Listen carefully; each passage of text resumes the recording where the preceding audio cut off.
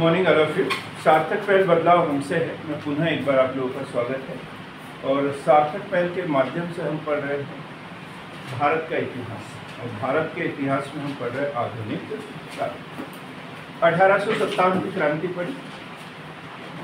और अठारह सौ क्रांति, अठारह सौ सत्तावन की क्रांति के साथ साथ उससे पहले या उसके बाद। विभिन्न प्रकार के धार्मिक आंदोलन, किसान आंदोलन या जनजाति आंदोलन उसके समानांतर होते रहे, उसके साथ साथ। कहीं न कहीं अठारह की क्रांति में इन जनजाति आंदोलनों का भी विशेष योगदान था, धार्मिक आंदोलनों का विशेष योगदान था और अठारह की क्रांति जो अपने लक्ष्य को प्राप्त करने में सफल नहीं हो पाई। लेकिन एक तरीके से जनजागृति लोगों के बीच में उत्पन्न कर दी। और इस कारण फिर लगातार लगातार आंदोलन होते ही रहे। तो हमें इन आंदोलनों को पढ़ना। शुरुआत करेंगे हम किसान आंदोलन से। किसान आंदोलन के बाद में जनजातीय आंदोलन पढ़ेंगे और जनजातीय आंदोलन के बाद में हम सामाजिक धार्मिक आंदोलन भी पढ़ेंगे। कोशिश करेंगे कि एक से दो क्लास में ये हमारा चर्चा खत्म हो जाए। किसान आंदोलन कोई बता दे जरा एक आध किसान आंदोलन का नाम? महत्वपूर्ण है ये। ये महत्वपूर्ण इसलिए है प्री के लिए जहाँ हमें इसका सन याद करना है क्षेत्र याद करना है। आप लोग चाहो तो अपनी कुशलता के लिए एक चार्ट बना लें इनके लिए। अभी बाद में। होमवर्क रहेगा ये। एक चार्ट बना लें।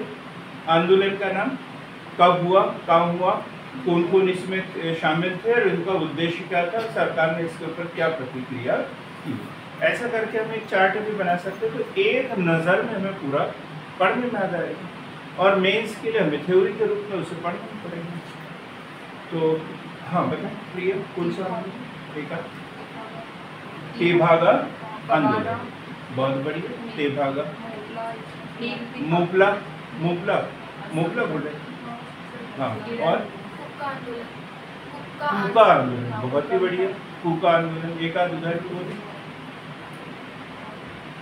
नहीं पता।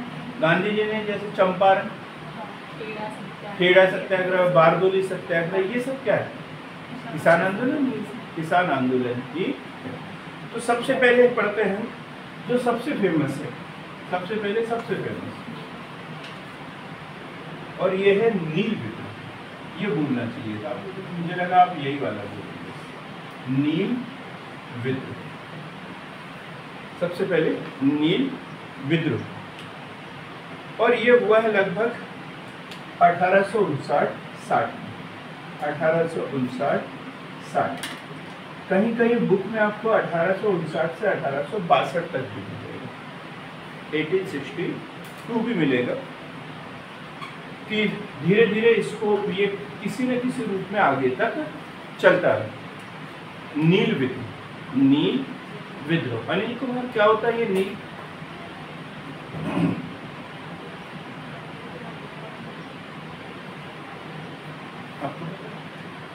कपास कपास को हुआ था ये। कपास को? मैं नील की बात कर रहा हूँ और आप कपास बोल रहे हैं। कपड़े को रंगने के लिए। जो पहले जो प्राकृतिक रंगों का ज़्यादा इस्तेमाल करते हैं। अब केमिकल का इस्तेमाल करते हैं। अब जो कलर बनते हैं ये केमिकल से बनते हैं। और पहले क्या? प्राकृतिक जैसे महुआ। सॉरी महुआ नहीं। आ, क्या? पलास पलास है। उसके पीले फूल देखे? पहले होली के बाद होली के दो तीन दिन पहले से वो उसमें फूल नहीं दिखते थे। क्यों नहीं दिखते थे? सब लोग तोड़ के लेकर आ जाते थे, उसी का रंग बनाते थे, उसी का पाउडर सब कुछ उसी का बनाते थे और उससे बुरी प्राकृतिक। अब तो पूरे रासायनिक कलर मिलते हैं।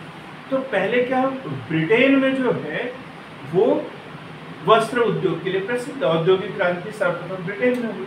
वहाँ कपड़ा बनता था। तो कपास तो उनको मिल जाता था। लेकिन उसको विभिन्न रंग देने के लिए नील नहीं मिलता और नील से क्या करते थे, उसे रंगते थे। अलग रंग उसे देते थे। क्योंकि कपास तो वाइट होता है वाइट ही कपड़ा बनने का। लेकिन उसे रंग देने के लिए काय की ज़रूरत पड़ती थी, नील की ज़रूरत पड़ती थी। और ये क्या करते थे? भारतीय किसानों को, जो किसान थे, गरीब थे बेचारे, नाम भले धनेश्वरी हो। तो ये क्या करते थे? उन, ये जो ब्रिटिशर्स जो थे, वो उनको एडवांस में पैसे दे देते थे। एडवांस में खेती करने के पहले ही। और एक कॉन्ट्रैक्ट साइन कर देते थे। कि भाई इस कीमत पर हमें ही बेचना है। और कीमत कैसी रखते थे बहुत ही कम। बहुत ही कम। और फिर जब वो फ़सल पककर तैयार होती थी, अब किसानों को लगता था कि बहुत पैसे मिलेंगे। और फिर वो बेचने की जैसे विचार करते थे, वो पहुँच जाते थे। बोले कि हमें बेचो। बोले, कितने में? बोले, कितने में क्या? ये तो लिखा हुआ है पहले ही। वो कॉन्ट्रैक्ट में दिखाते थे कि इतनी कीमत तय हुई थी। उस हिसाब से देखते हैं। तो उन्होंने जो कर्ज लिया था, वही पूरा हो पाता था किसानों के पास में। कुछ बचता ही नहीं था। तो फिर वो धीरे धीरे उसका विरोध करने लगे कि ये परंपरा जो है, वो बहुत ही गलत क्लियर हो गया नील आंदोलन। उस समय के जैसे नील दर्पण, एक बुक है दिन बंधु मित्र। दिन बंधु मित्र का एक नाटक है, नील दर्पण। पूरा लिखवा हुआ अभी अभी लिखा। उसमें इसका उल्लेख है।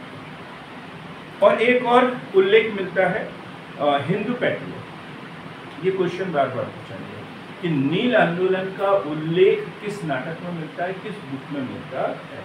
तो नाटक यदि पूछे तो दीन बंधु मित्र का नील दर्पण। और यदि बुक का नाम पूछे ये अखबार का नाम अखबार। किस अखबार में ये विद्रोह प्रकाशित हुआ था? खबरें छपती थी तो द हिंदू पैट्रियट लिखेंगे अब इसे। इसका बंगाल में। क्षेत्र कहाँ पर बंगाल। बंगाल में बागान, मालिकों के बागान, मालिकों के विरुद्ध। बागान मालिकों के विरुद्ध। लिखेंगे।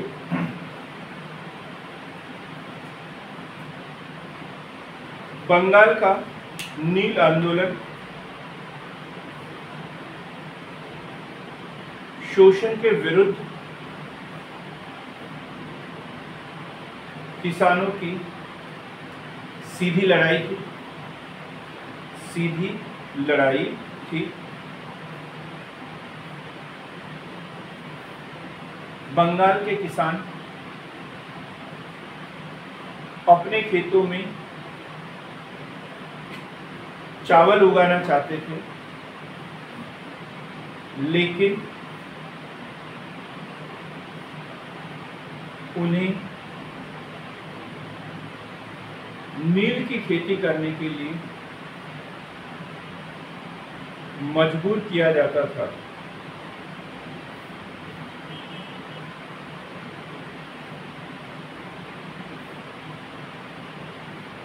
नील उत्पादक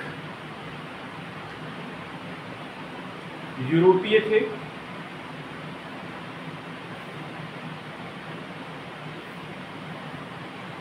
जो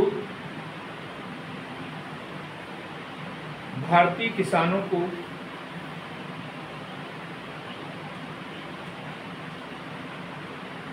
छोटी मोटी रकम देकर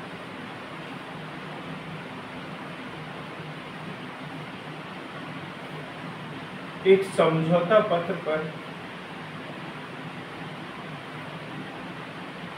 समझौता पत्र पर हस्ताक्षर हस्ताक्षर लेते थे।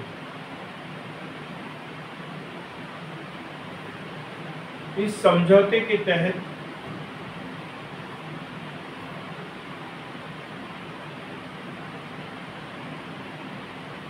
जो कीमत लिखी जाती थी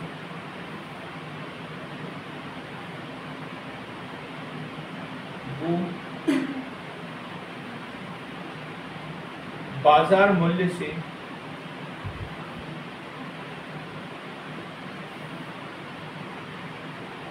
बहुत कम होती थी। बाज़ार मूल्य से बहुत कम होती थी। बाज़ार मूल्य से बहुत कम होती थी। सितंबर अठारह में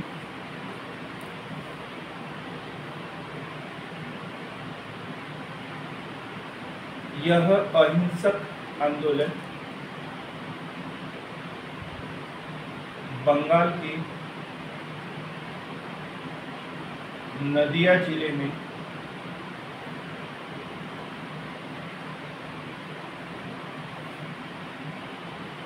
दिगंबर विश्वास व विष्णु विश्वास के नेतृत्व में प्रारंभ हुआ।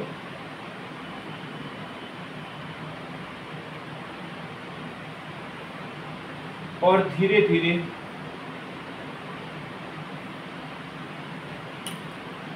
पूरे बंगाल प्रांत में फैल गया।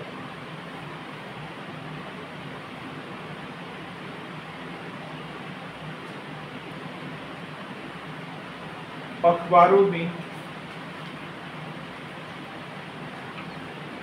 लेखों द्वारा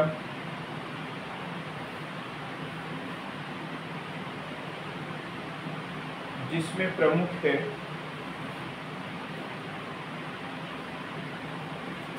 हरिश्चंद्र मुखर्जी का। हरिश्चंद्र मुखर्जी का। हिंदू पैट्रियट। हिंदू पैट्रियट ने विद्रोह का समर्थन किया।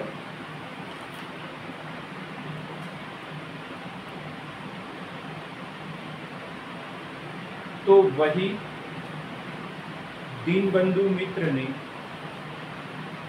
दीनबंधु मित्र ने अपने नाटक नील दर्पण में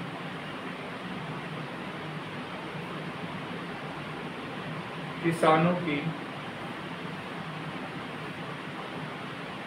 किसानों के शोषण का बारीकी से उल्लेख किया। अब पैराग्राफ बदल दिए। सरकार ने नवंबर 1860 1860 1860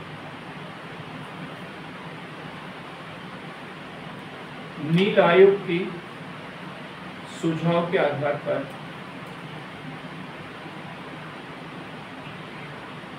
नील आयोग के सुझाव के आधार पर अधिसूचना जारी की थी। अधिसूचना जारी की की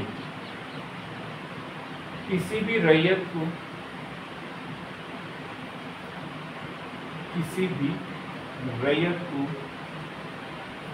नील की खेती के लिए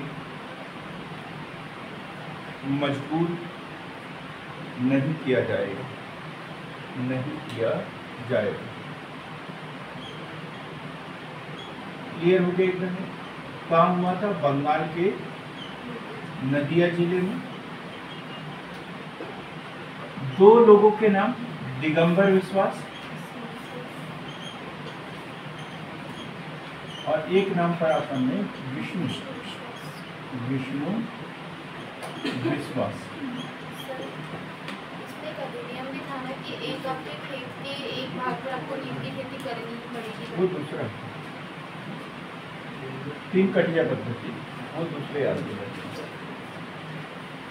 समर्थन किसने किया? समर्थन। एक तो दो दो लोगों का उल्लेख करेंगे हम। एक है नील दर्पण नील दर्पण और दूसरा है हिंदू पैट्रियट। तो ये नील दर्पण किसका है? दीन बंधु मित्र। दीन बंधु मित्र। और कौन से मुखर्जी है? हरिश्चंद्र। हरिश्चंद्र। मुखर्जी हरीश चंद मुखर्जी अब इसका निदान क्या निकला? नील आयोग का गठन नील आयोग का गठन और इसके अनुशंसा के आधार पर एक अधिनियम पारित कर दिया अधिसूचना जारी कर दी। अधिसूचना जो सबके ऊपर लागू होती है कि अब किसी भी रैयत को रैयत यानी किसान। किसान को ज़बरदस्ती नील की खेती करने के लिए मजबूर नहीं किया जा सकता है, वो जो चाहे वो खेती करे। क्लियर हो गया अब शुरुआत में थोड़ा सा हमसे छूट गया कि इन आंदोलनों के कारण क्या थे? चाहे कोई भी कारण आंदोलन हो, उनके कारण क्या थे? जो किसान आंदोलन हुए इनके कारण कौन किसान आंदोलन तो अभी भी होते हैं। दिल्ली में देखो कितना धरना हुआ अभी दो तीन साल से लगातार चल रहा है किसान आंदोलन को लेकर। तो कारण क्या था कोई बता सकता है? एक एक करके बता दे तो भी काम चल जाएगा हम बोलिए भू राजस्व की दर अधिक होगी भू राजस्व की दर किसानों को उपज के अनुसार उचित मूल्य न मिलने, बिल्कुल ठीक। उपज के अनुसार उचित मूल्य न मिलने। हाँ? सरकारों की ऐसी नीति जो उनको मतलब उपज और ये सारी चीज़ों में समर्थन न करे। जैसे अधिक हाँ। समर्थन मूल्य समर्थन मूल्य वगैरह तो उस समय था ही नहीं। किसान जो साहूकारों ये लिखेंगे तो साहूकारों जमींदारों द्वारा अत्यधिक शोषण। जमींदारों साहूकारों द्वारा अत्यधिक शोषण। मतलब कोई कीमत नहीं थी फ़सलों की।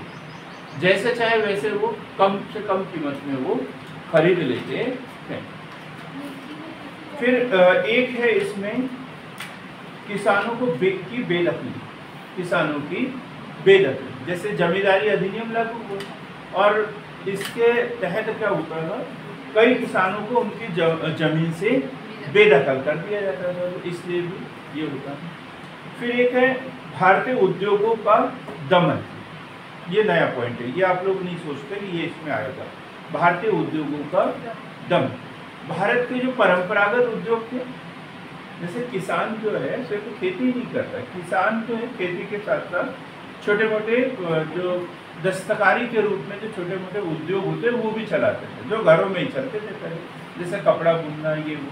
अब सरकार ने क्या किया? कच्चा माल खरीद लिया। इनको कच्चा माल मिल गया।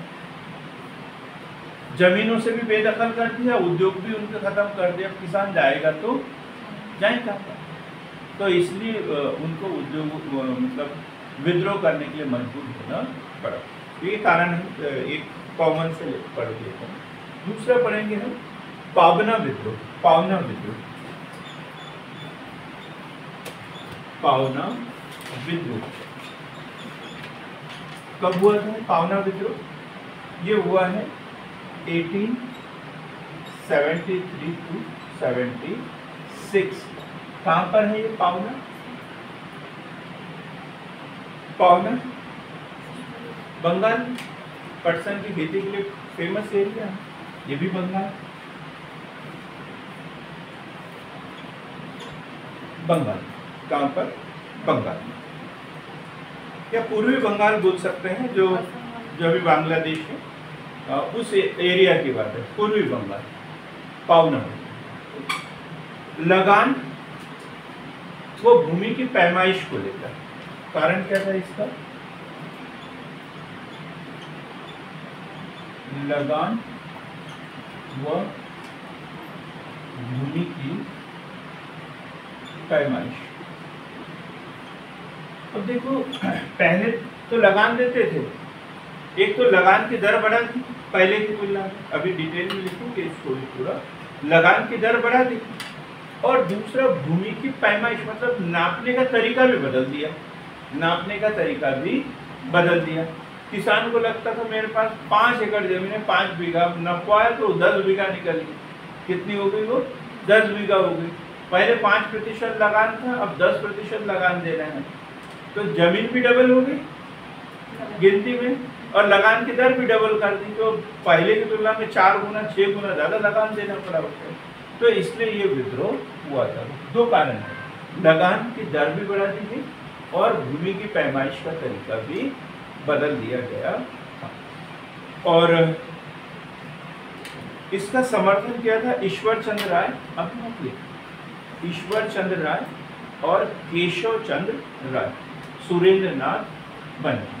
ये दो तीन विशेषज्ञ थे, इन्होंने इस आंदोलन का बहुत अधिक प्रचार प्रसार किया और सरकार को भी चुका ये किसी एक फ़सल के लिए नहीं, ये लगान की दर और भूमि की पैमाइश को लेकर लिखेंगे इसे डिटेल में। पावना पावना पूर्वी बंगाल में स्थित पूर्वी बंगाल में स्थित पटसन की खेती के लिए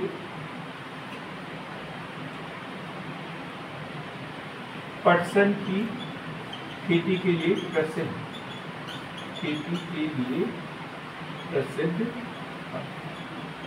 प्रसिद्ध,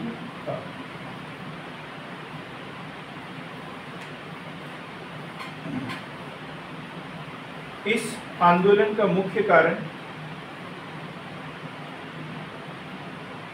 लगान में वृद्धि व भूमि की पैमाइश को लेकर था।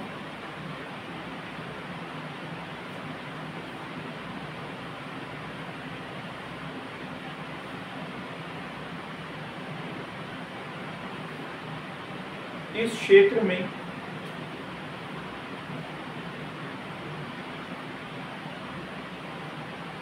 अठारह सौ सत्तर से 80 के दशक में 80 के दशक में लगान में सात गुना वृद्धि, लगान में सात गुना वृद्धि व भूमि की भूमि की पैमाइश के लिए छोटी मापों का प्रयोग किया गया। भूमि की पैमाइश के लिए छोटी मापों का प्रयोग किया गया। कारण हो गया क्लियर एकदम अब विद्रोह कैसे किया, ये भी देखें अठारह सौ तिहत्तर में पावना ज़िले के यूसुफ जाही परगनी में हाँ 1873 में पावना ज़िले के यूसुफ जाही परगनी में एक किसान संघ की स्थापना की गई। किसान संघ की स्थापना की गई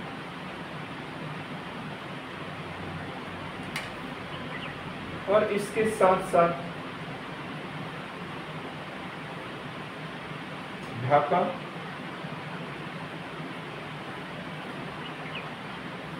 फरीदपुर त्रिपुरा आदि क्षेत्रों में फैल गया कुछ सबसे महत्वपूर्ण बात छूट दी है, समझने की। ये आंदोलन किसके विरुद्ध हो रहा था? आप बताएँगे ना, आज तक। ब्रिटिश सरकार के विरुद्ध नहीं। जमींदारों के लिए। जमींदारों व जागीरदार साहूकारों के विरुद्ध था। और इसका एक बड़ा फ़ेमस नारा है। कि हम ब्रिटिश महारानी की रैयत के अलावा और किसी की रैयत नहीं नहीं है। वो बोलते थे कि हम एक के गुलाम हैं, ब्रिटिश महारानी के। देश के जमींदारों या साहूकारों के गुलाम नहीं है। हम लगान देंगे, लेकिन किसको देंगे? महारानी को देंगे, ना कि इन बिचौलियों को देंगे, क्योंकि बिचौलियों के कारण हमें लगान ज़्यादा देना पड़ता था। ये मुख्य इसके केंद्र। लिखेंगे पावना के विद्रोही किसानों की मुख्य मांगे मुख्य मांगे पैमाइश की माप में परिवर्तन,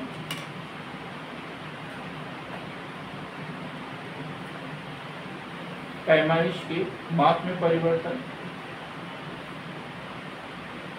व बढ़े हुए लगान में कमी की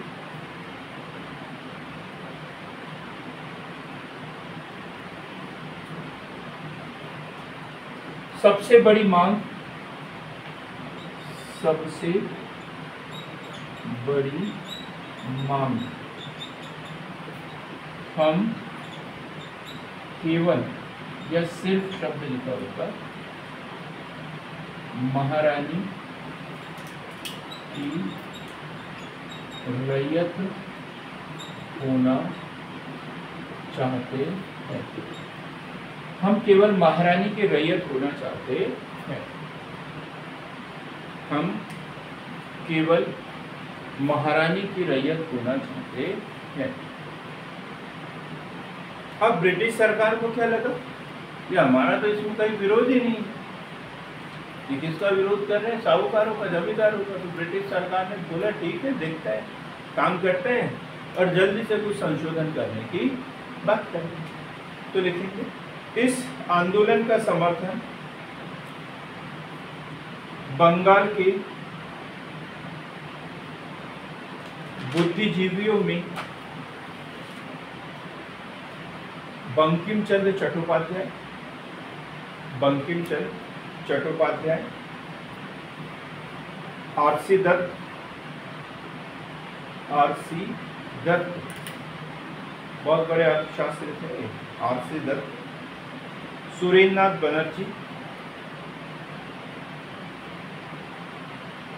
आनंद मोहन बोस,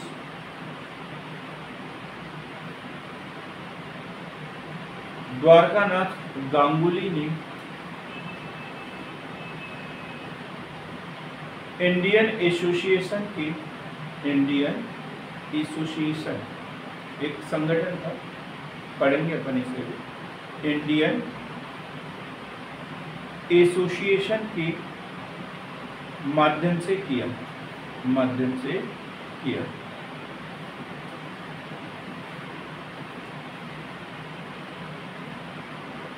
लास्ट पॉइंट लिखेंगे इस आंदोलन के महत्वपूर्ण नेता ईशान चंद्र राय। नेता, जो आंदोलन के देखो, जो पहले लिखे अपन ने, वो समर्थक थे। इन्होंने इनकी मांगे ब्रिटिश सरकार तक पहुंचाई थी। लेकिन आंदोलन करता कौन थे? ईशान चंद राय। ईशान चंद राय व शंभुनाथ। शंभुनाथ। ये इसके प्रमुख नेता। बाद में यही हुआ। सरकार ने भूमि की पैमाइश करने के तरीके बदलने की बात की थी। ये आंदोलन भी धीरे धीरे चलते रहे और अब ऐसे ही खत्म हो गए। अहिंसक आंदोलन था, कोई हिंसा नहीं, कोई कुछ नहीं। सरकार ने एक आदेश द्वारा जमींदारों को निर्देशित किया कि आप हद में रहकर ही लगान देते क्लियर हो गया तो पावना आंदोलन और पहला नील विद्रोह, दोनों से संबंधित क्वेश्चन बनते हैं। इसके बाद हम पढ़ेंगे दक्कन विद्रोह। दक्कन विद्रोह।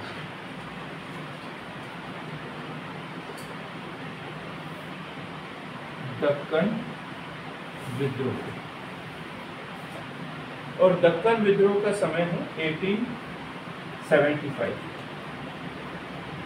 1875 दक्कन। कौन सा क्षेत्र आता है दक्कन में? जी। महाराष्ट्र का, बहुत बढ़िया। आपने क्या बोला? दक्षिण का। दक्षिण में कौन कौन सा है? महाराष्ट्र, गुजरात, कर्नाटक, ये वाला जो क्षेत्र है तो ये दक्कन कहलाता है। महाराष्ट्र, गुजरात, कर्नाटक, इधर, मध्य प्रदेश का क्षेत्र भी नीचे वाला, उसी में आता था। तो दक्कन की बात करें जैसे अपन ने पहले भी पढ़ा, दक्कन में अकाल भी पड़ा था ये सब कुछ पड़ा। था वहाँ पे पानी की कमी है। उबड़ खाबड़ जमीनें हैं। उपजाऊ भूमि वहाँ पर। है शुरू से ही यहाँ के लोग बड़े संघर्ष करते रहे तकलीफ़ वाला एरिया है। और ऐसे स्थान पर भी यदि लगान की दर बढ़ा दी जाए तो फिर क्या करेंगे बेचारे किसान लोग? तो दिक्कत होगी वहाँ तो ये जो आंदोलन था, गुजराती व मारवाड़ी साहूकारों के विरुद्ध था। गुजराती व मारवाड़ी साहूकारों के विरुद्ध। गुजराती व मारवाड़ी साहूकारों के विरुद्ध आंदोलन गुजराती व मारवाड़ी साहूकारों के विरुद्ध। कारण क्या था इसका? 1867 में भू राजस्व में पचास प्रतिशत तक लगान में वृद्धि कर दी। लगान में वृद्धि कर दी। साथ ही लगातार कई वर्षों से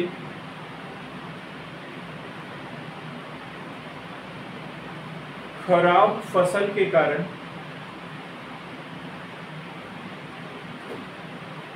क्या हो गया मुझे खराब फ़सल के कारण पंकज जी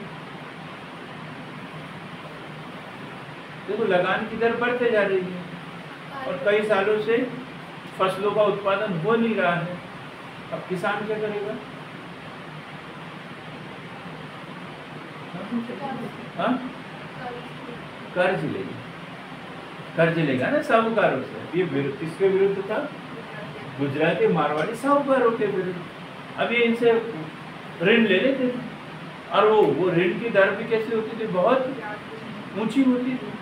और वसूल करने के तरीके बड़े खतरनाक होते थे एकदम। तो ये एकदम उनके चुंगल में फंस गए। चुंगल में फंस गए। कुछ हो ही नहीं रहा। उनको ऐसा लगता था कि इस साल फ़सल नहीं हुई अगले साल फ़सल होगी, हम चुका देंगे। लेकिन ब्याज की दर बढ़ते जा रही है, अब किसान कहीं का नहीं रहा तो उनके पास अब एक ही उपाय बचा, करो या मरो। तो उस स्थिति में ये हुआ। कर्ज के बदले महाजन, कर्ज के बदले महाजन, किसानों के घर, जेवर व ज़मीन को एक शब्द आया है रेहन रेहन मतलब गिरवी। गिरवी रख लेते थे। गिरवी रख लेते थे।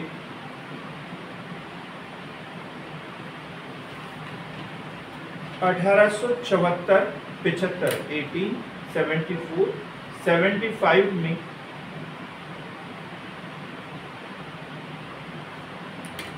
इस विद्रोह की शुरुआत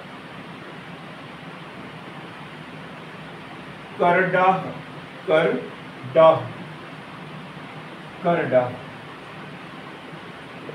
गाँव से हुई और धीरे धीरे यह विद्रोह पुणे, सोलापुर सतारा। धीरे धीरे यह विद्रोह पुणे, सोलापुर, सतारा आदि क्षेत्रों में फैल गया। अब यहाँ समझने लायक क्वेश्चन है आगे। यहाँ तक तो पता चल गया, अठारह में किसके विरुद्ध था ये? साहूकारों के विरुद्ध था। गुजराती मारवाड़ी जो साहूकार थे, उनके विरुद्ध था, क्योंकि लगान में पचास प्रतिशत की वृद्धि कर दी थी। और लगातार खराब फ़सलों के कारण किसान जो है इन्हीं साहूकारों से ऋण लेते थे और ऋण की दर भी जो थी बहुत ऊँची थी। और ऋण लेने के बदले में ये या तो अपने किसी पास घर है तो घर गिरवी रख लेते थे और जेवर यदि है तो वो गिरवी रख लेते थे और खेत गिरवी रख लेते थे। अब धीरे धीरे अब ये जमीनों को की उगाही करने लग गए, जमीनें छीनने लग गए। तो फिर शुरुआत हुई करडाह गाँव में 1874-75 और क्या किया इन्होंने? इन साहूकारों का सामाजिक बहिष्कार सामाजिक बहिष्कार। कैसे किया सामाजिक बहिष्कार? भाई, अब इनको ज़रूरत है। भाई, लखपति आदमी है, करोड़पति आदमी है तो पैसे तो नहीं खाता। आदमी कोई भी हो, खाना ही खाता है। ऊपर से गरीब आदमी को काम करने की आदत है। इन लोगों को तो काम करने की आदत नहीं है। काम वाले भाई नहीं आए तो सुबह सुबह एक गिलास गिलास भी नहीं मिलता पानी पीने के लिए। ये स्थिति खराब हो जाती है। जहाँ काम वाली भाई आते हैं ना, वहाँ पर इतने उस, उनके ऊपर डिपेंड हो जाते हैं। तो यहाँ पर भी यही स्थिति थी। तो जो सामाजिक वर्ग है, उन्होंने इनका बहिष्कार कर बहिष्कार कैसे? नाई बोले, बोलते था हम इनके बाल नहीं काटेंगे। तो ऐसे जितने भी जो काम वाले लोग थे, उन्होंने इनका सामाजिक बहिष्कार कर दिया कि धोबी जो है, अब इनके यहाँ कपड़े धोने नहीं जाएगा। ऐसे जितने भी काम वाले वर्ग थे, किसान बोल रहे कि हम इनके खेतों की फ़सल नहीं काटेंगे, मजदूर लोग बोल रहे हैं। तो धीरे धीरे फिर ये आंदोलन बढ़ते हुए फिर पुणे, सोलापुर इधर उधर फैलते चला गया। और अब ये साहूकार लोग कहाँ जाएँगे? अंग्रेज़ सरकार के पास जाएँगे, है ना? सरकार के पास जाएँगे, सरकार दोनों पक्षों की बात सुनेंगे। फिर सरकार जो है, अब सरकार के विरोध में होता तो सरकार ध्यान देती।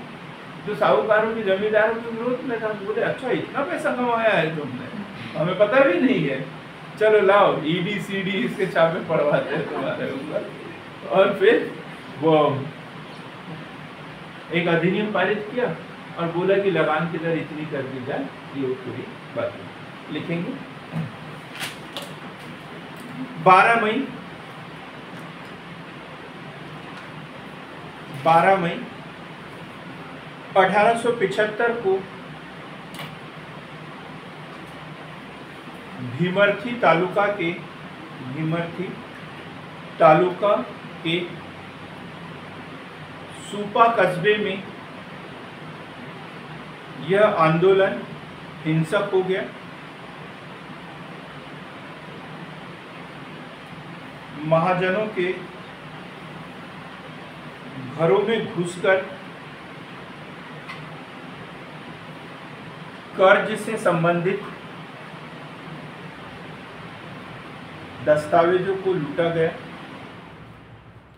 दस्तावेजों को महाजनों के कर्ज से संबंधित दस्तावेजों को लूटा गया।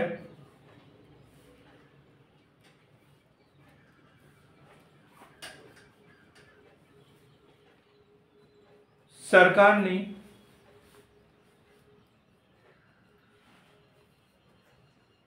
जल्द ही इस आंदोलन को दबा दिया।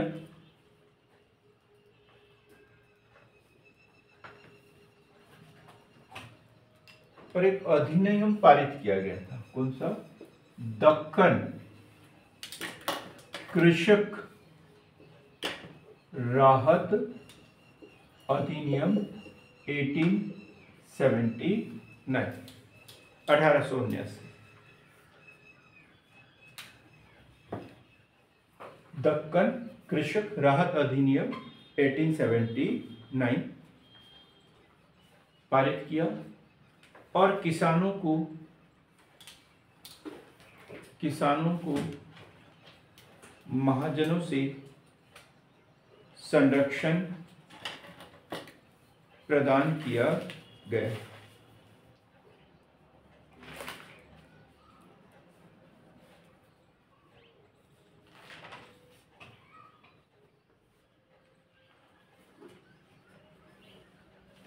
अब लिखेंगे तेभागा आंदोलन। तेभागा आंदोलन। तेभागा आंदोलन, अगला।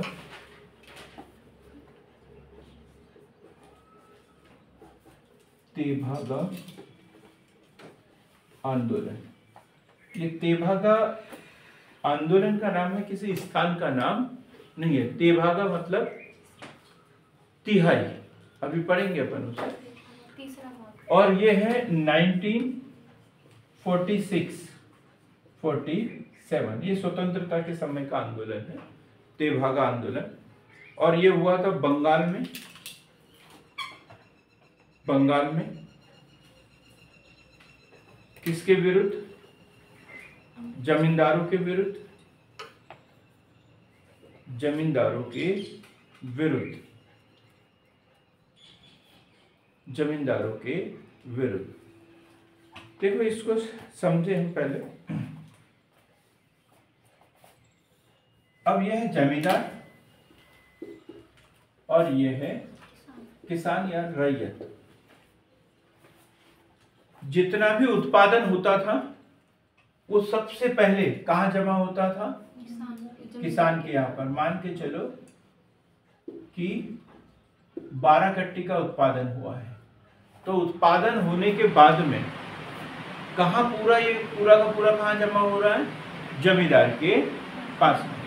फिर जमींदार ने बताया कि इतना उत्पादन हुआ है और इसका 50 परसेंट किसको दे देते थे वो?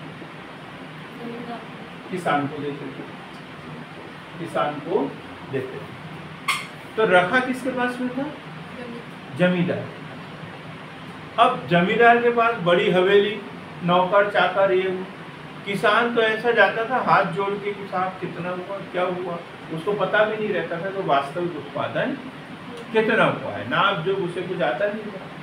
तो वो सब जमींदार क्या, वो बड़े जमींदार बनेंगे कैसे? चमड़ी जाए पर दमड़ी न जाए। चमड़ी जाए पर दमड़ी न जाए, उस स्टाइल में वो जमींदार बनते थे, है? तो किसानों को विश्वास ही नहीं था। उनको लगता ना कि यार बहुत अच्छी फ़सल है, बहुत अच्छी फ़सल है। कितना अधिक उत्पादन होगा जमींदार के पास में जाते थे वो बोलता था बस इतना ही हुआ, इतना ही हुआ। और 50 परसेंट किसान को दे देते थे बात खत्म। अब आंदोलन में ये क्या चाहते थे? आंदोलन में ये चाहते थे कि जितना भी उत्पादन हो, वो कहाँ रहे पहले? किसान के यहाँ पर रहे हैं। छः कट्टी हुआ है तो छः, दस हुआ है तो दस, लेकिन पहले कहाँ रहे? किसान के यहाँ और उसका जो है, तीसरा हिस्सा जो है, वो एक किसान को दे दिया जाए, पहले। तीसरा ते भाग तीसरा भाग किसको मिले पहले? किसान को मिले। वो उसकी मेहनत वो उसकी मेहनत और इसके बाद जो लाभ हुआ है, उसको 50 50 परसेंट करते वो फिर जमींदार को दे। तो ये चाहते थे वो। इसे, इससे क्या बोला? तेभागा आंदोलन बात समझ में? कि पहले तो जो उत्पादन हुआ, वो किसान भी आ रहे हैं और उसका एक तिहाई भाग पहले निकाले वो और उसके बाद जो बचा है, वो आधा आधा वो कर दे। ये उनकी मांग। लिखेंगे इसे। तेभागा आंदोलन 1946-47 बंगाल के तेभागा क्षेत्र में, इसे तेभागा ही क्षेत्र बोला जाता है यहाँ। और ये जमींदारों के विरुद्ध था। जमींदारों के विरुद्ध किसानों की समस्या यह थी कि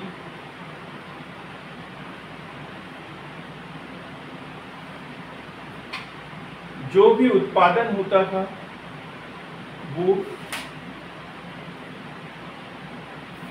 जमींदारों के गोडाउन में रखा जाता था। जमींदारों के गोडाउन में रखा जाता था। और बाद में जमींदारों द्वारा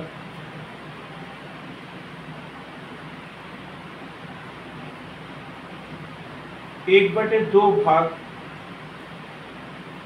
किसानों को दिया जाता था। किसानों को दिया जाता था।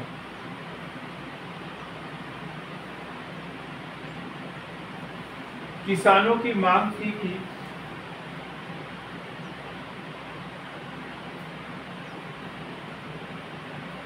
किसानों की मांग थी कि जो कुल उत्पादन है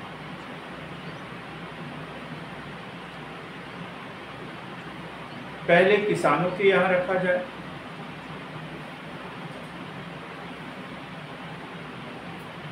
किसानों के यहाँ रखा जाए।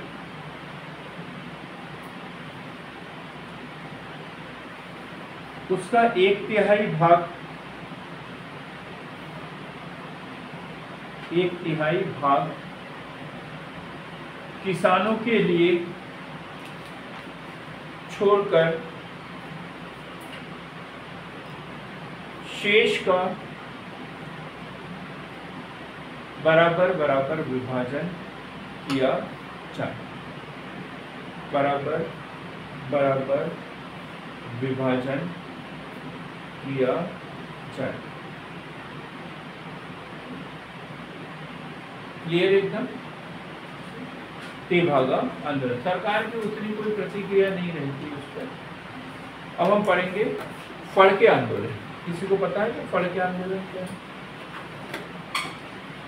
अनिल कुमार को पता है? अभी नीचे गए थे तो बता रहे थे, सर, ये मैंने सब पढ़ लिया है। बोले, लेकिन किसी को बताना मत बोल रहे किसी को बताना मत बोल रहे तो बिल्कुल नहीं बताएँगे हम, ठीक है?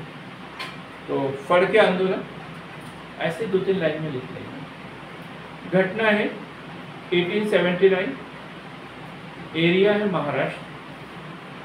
एरिया है, महाराष्ट्र। और आंदोलन करता थे वासुदेव बलवंत फड़के। वासुदेव बलवंत फड़के।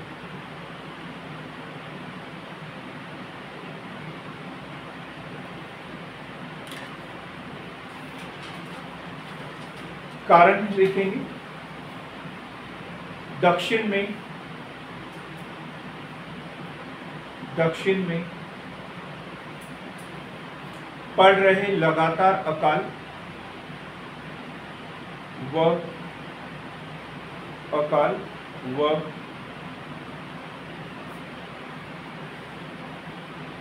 बौद्धिक वर्ग में बढ़ रही हिंदुत्व की भावना। क्वेश्चन बन सकता है इस साल। जरा व्यवस्थित तरीके से लिखेंगे। जहाँ भी समझ में नहीं आता तो मेरे से पूछ लेंगे हिंदुत्व की भावना। हाँ दक्कन में पढ़ रहे निरंतर अकाल, व बौद्धिक वर्ग में बढ़ रहे हिंदुत्व की भावना। हिंदुत्व की भावना। अब ये इनका कोई आवेदन, निवेदन, प्रार्थना पत्र नहीं था इनका। ये सीधा लूट मार करते थे, डकैती डालते जमींदार साहूकारों के यहाँ पर ये डकैती डालते थे। इन्होंने एक सेना बना ली थी और ये लूटने का इनका काम। लिखेंगे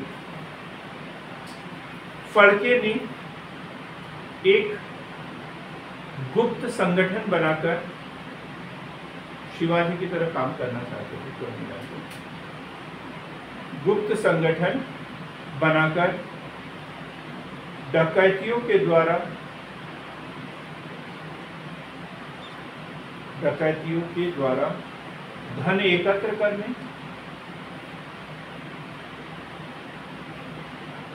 संचार व्यवस्था को तहस नहस करने।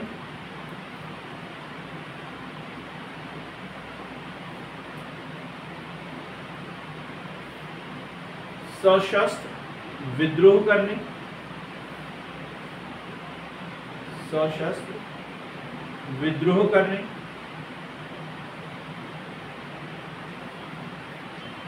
तथा हिंदू राज्य के हिंदू राज्य की स्थापना की बात करते थे उनको ऐसा लगता था कि यहाँ सालों तक मुस्लिमों ने राज किया, उसके बाद अंग्रेज़ राज कर रहे हैं। और यहाँ के जो हिंदू है, हिंदुस्तान है, इनका कुछ नहीं है। तो इसलिए उन्होंने ये रास्ता यहाँ पर अपनाया। फड़के के गिरफ़्तार होने एवं आजीवन कारावास पाने के बाद। क्या होगा? नेता कोई जेल में बंद कर दिया जाए तो अब कोई बचा नहीं वहाँ पर। तो धीरे धीरे ये आंदोलन क्या हो जाएगा? निष्क्रिय हो जाएगा। लिखेंगे? अभी पूरी बात खत्म नहीं हुई लिखेंगे फड़के के गिरफ़्तार होने तथा आजीवन कारावास होने के बाद दौलत रामोशी के नेतृत्व में दौलत रामोशी के नेतृत्व में यह दल अठारह सौ तिरासी तक सक्रिय रहा और उसके बाद हाँ दौलत दौलत रामोशी के नेतृत्व में सक्रिय रहा। कब तक सक्रिय रहा? 1883 तक सक्रिय रहा और फिर धीरे धीरे पतन धीरे धीरे पतन हो गया, या धीरे धीरे ये दल समाप्त हो गया। क्लियर है? उनसे फड़के आंदोलन। कहाँ पर? महाराष्ट्र में। 1879 में शुरुआत। किसके नेतृत्व में? बलवन वासुदेव फड़के। वासुदेव बलवन फड़के के नेतृत्व। क्या चाहते क्या उद्देश्य था इनका? हिंदू राज्य की स्थापना। कारण क्या था? लगातार बढ़ते अकाल। लगातार बढ़ते अकाल और हिंदुत्व की भावना का उदय होना। इन्होंने एक गिरोह बना लिया था संगठन बना लिया था पचास साठ सदस्य थे। और ये लोग हथियारों से लेस डकैती डालने का प्रयास करते थे, संचार के साधनों को तोड़फोड़ करते थे।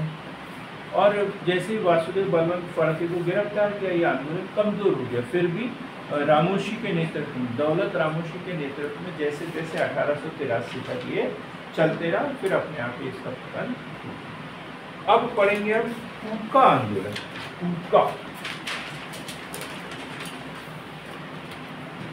फूका नाम बड़ा अच्छा है। फूका डरावना सा नाम तो बता सकता है कि कहाँ पर हुआ था? पंजाब में। पंजाब में हुआ। बहुत ही बढ़िया। गुड बहुत अच्छा। पंजाब में 1872 1872 और किसके विरुद्ध था ये? अंग्रेज़ों। के विरुद्ध था ये डायरेक्ट अंग्रेज़ी सरकार के विरुद्ध था। अंग्रेज़ों की कृषि नीति के विरुद्ध था। अंग्रेज़ों की कृषि नीति के विरुद्ध था। किसने नेतृत्व किया? जवाहरमल व उनके शिष्य राम सिंह कूका उनके शिष्य राम सिंह कूका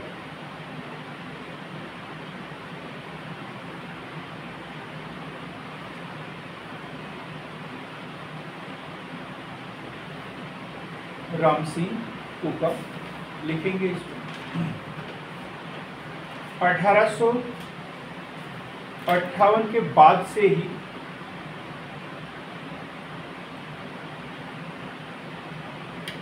कृषक आंदोलन।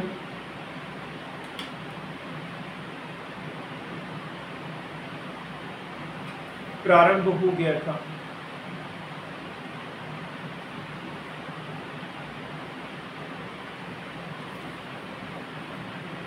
यह आंदोलन उस समय के बागानों के विदेशी मालिक देशी जमींदार। तथा महाजनों के विरुद्ध था। महाजनों के विरुद्ध था।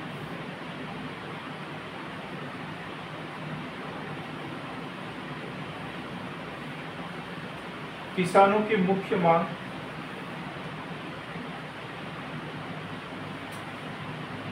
लगान में कमी व बेदखली को रोकने की थी। बेदखली को रोकने की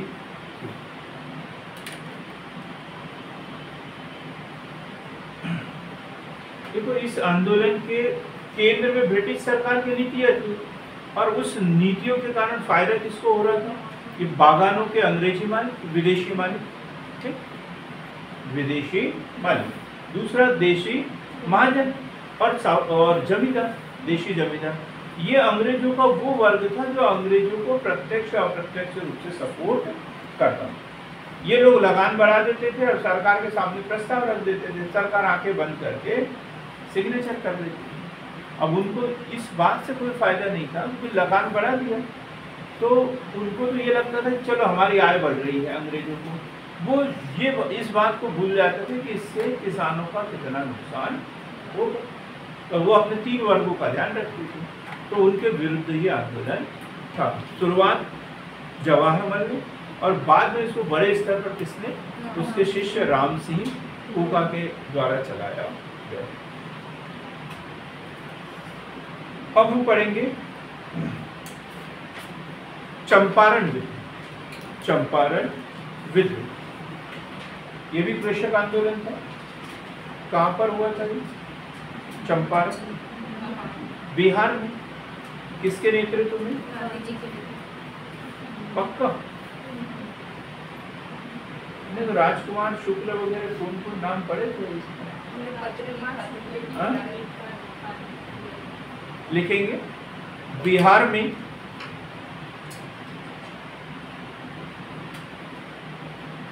नील बागान मालू, मालिकों के विरुद्ध, नील बागान मालिकों के विरुद्ध तीन कठिया पद्धति के विरुद्ध, तीन कठिया पद्धति के विरुद्ध। क्या होता है? तीन कठिया पद्धति खेत के तीसरे हिस्से पर नील की खेती करना अनिवार्य था। अधिनियम के अकॉर्डिंग हाँ। तीन बटे बीस तीन बटे बीस। तीन बटे तीन कटिया मतलब तीन बटे बीस। भूमि के तीन बटे बीस भाग पर नील की खेती करना अनिवार्य था अनिवार्य था। स्थानीय किसानों द्वारा स्थानीय किसानों द्वारा आंदोलन किया जा रहा था।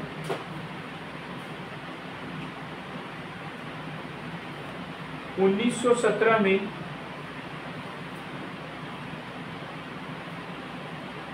गांधी जी द्वारा इस आंदोलन को नेतृत्व प्रदान किया गया।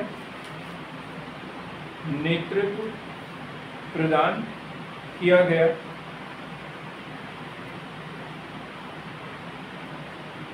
परिणाम स्वरूप परिणाम स्वरूप, चंपारण कृषि अधिनियम 1919 पारित किया गया और किसानों को तीन कठिया पद्धति से मुक्ति दी गई। तीन कठिया पद्धति से मुक्ति गई अब ढेर सारे आंदोलन, जैसे बार, बारदोली सत्याग्रह, ये सब गांधी युग में हम पढ़ेंगे तो उसका सिर्फ़ नाम भर इसमें कहीं पे अंकित कर लें क्योंकि बाद में हमें इसको डिटेल में पढ़ना है।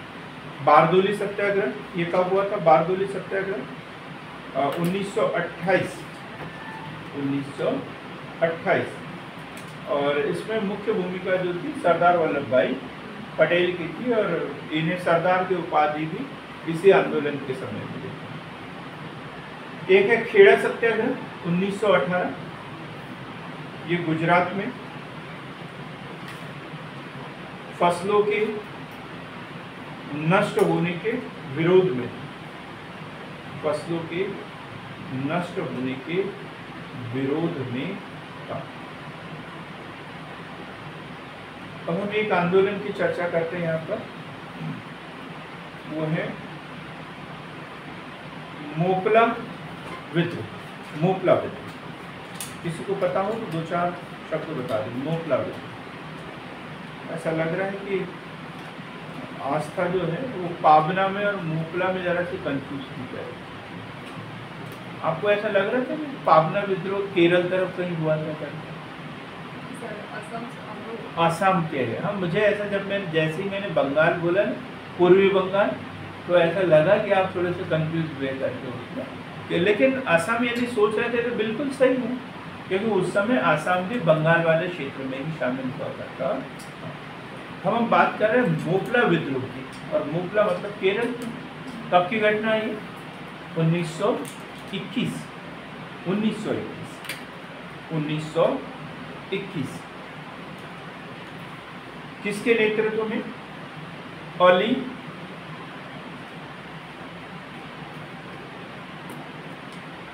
मुदलियार अली मुदलियार की नेतृत्व में।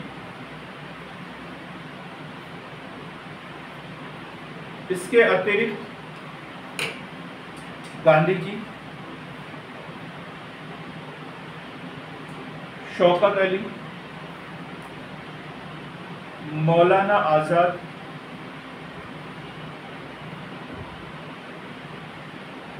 आदि ने इस आंदोलन का समर्थन किया। समर्थन किया।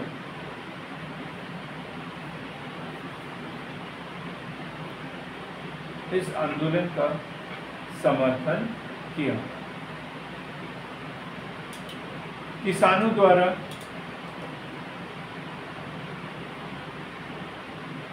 जमींदारों के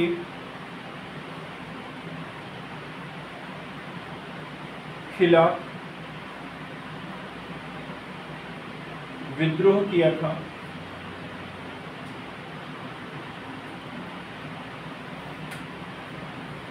बाद में यह आंदोलन हिंसक हो गया।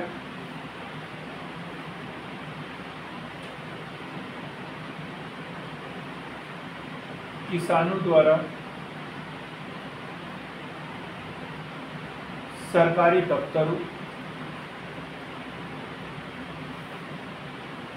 सरकारी दस्तावेजों को जला देना, दफ्तरों में भी आग लगा वहाँ जो दस्तावेज़ वगैरह थे, उनको भी जला दिया गया। खजाना लूटना खजाना लूटना जैसी घटनाओं को अंजाम दिया गया। जैसी घटनाओं को अंजाम दिया गया।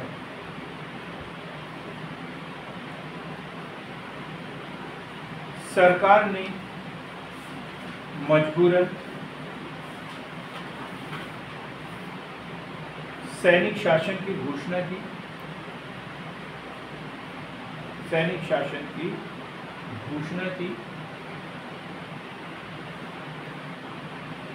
वह आंदोलन को बेरहमी से कुचल दिया गया। कुचल दिया गया। समझो इसे। मोपला। कब की घटना है? 1920-21 कहाँ पर? केरल। अब देखो, उस समय भारत की राष्ट्रीय स्तर की परिस्थितियाँ देखें तो क्या है, भारतीय राष्ट्रीय कांग्रेस की स्थापना हो चुकी है और गांधी युग भी चल रहा है, प्रथम विश्व युद्ध समाप्त हो चुका है और दो आंदोलन बड़े चल रहे हैं उस समय। एक खिलाफत आंदोलन और असहयोग आंदोलन। यदि किसान लोग कोई घटना, कोई मांग कर रहे हैं तो उसको ब्रिटिश सरकार काय से जोड़ के देख रही है सीधा। असहयोग आंदोलन या खिलाफत आंदोलन से जोड़कर देख रही है जबकि इनकी मांग किसके विरुद्ध थी? जमींदारों के विरुद्ध, लगान के विरुद्ध थी। लेकिन इनके जो नेता थे, मुदलिया, इनको एक मस्जिद से गिरफ़्तार कर लिया मस्जिद से गिरफ़्तार कर लिया और ये जनता को बड़ी नागवार होगा फिर जो कांग्रेस के नेता थे, शौकत अली, जिसे अली बंधु के थे खिलाफत आंदोलन भी चला रहे थे, और गांधी जी, और अन्य जो आंदोलन से जुड़े हुए थे इन लोगों ने इनका समर्थन कर दिया कि ये जो कर रहे हैं बहुत अच्छा कर रहे करते हैं और ये बात को समझ ही नहीं पाए। किसान लोग कि भाई यहाँ पे क्या चल रहा है हम क्या कर रहे हैं? और इन्होंने जैसे ही वो मुदलियार जी को गिरफ़्तार किया ये आंदोलन कैसा हो गया? हिंसक हो गया। और हिंसक होने का इन्होंने सरकारी जो कार, जो कार्यालय थे वहाँ आग लगा दी। सरकारी दस्तावेज़ थे उनको जला दिया। सरकारी खजाना जो है, वो लूटा गया। और फिर सरकार को ऐसा लगा कि अब ये बड़ा खतरनाक स्थिति में मोड़ ले रहा है तो उन्होंने सैनिक शासन पर उस एरिया में लागू कर दिया। देखते गोली मारो वाली स्थिति बन गई। तो अपने आप ही आंदोलन शांत ये मोकला विद्रोह उन्नीस सौ इक्कीस। अब हम कुछ अन्य आंदोलन पढ़ेंगे। अभी हमने ठेठ जो है, वो किसान आंदोलन पढ़े अब कुछ अन्य प्रकृति के जैसे जनजातीय आंदोलन हो सकते हैं, धार्मिक आंदोलन हो सकता है, उनको पढ़ने की कोशिश करेंगे। दो, चार, पाँच उससे भी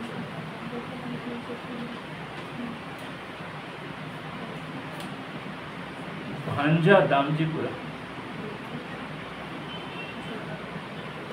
अनिल कुमार, आप थोड़ा सा बता दो। इनका नंबर दे दो। इसका पंकज का। इस नंबर पे बात कर लिया जाएगा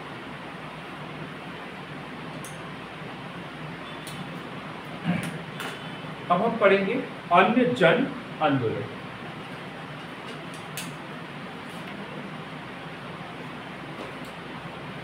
जन आंदोलन। एक आंदोलन जिसकी बड़ी चर्चा की थी कल अपन ने, धार्मिक प्रकृति के आंदोलन पढ़ रहे हैं अभी अपन।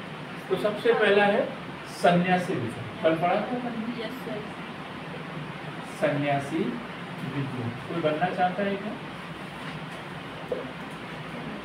कोई नहीं बनना चाहता। सन्यासी विद्रोह ये घटना है 1770 से 1780 के बीच में। सन्यासी विद्रोह बंगाल में? बंगाल में? भीषण अकाल पड़ा। और ऊपर से तीर्थ यात्रा कर में वृद्धि कर तीर्थ यात्रा कर में वृद्धि। बंगाल में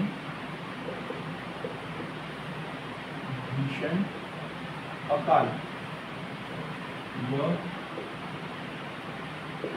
तीर्थ यात्रा कर में वृद्धि। तीर्थ यात्रा कर में वृद्धि। तीर्थ यात्रा कर में वृद्धि। हिंदू सन्यासी हिंदू सन्यासी, जिसमें अधिकांशतः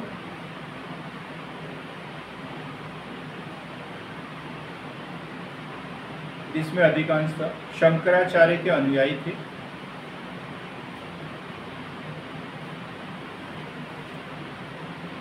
अनुयायी थे ने अन्य सन्यासियों के साथ मिलकर, अन्य सन्यासियों व जनता के साथ मिलकर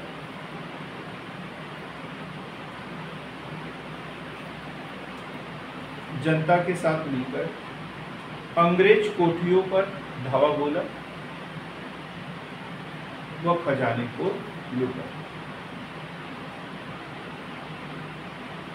खजाने को लूटा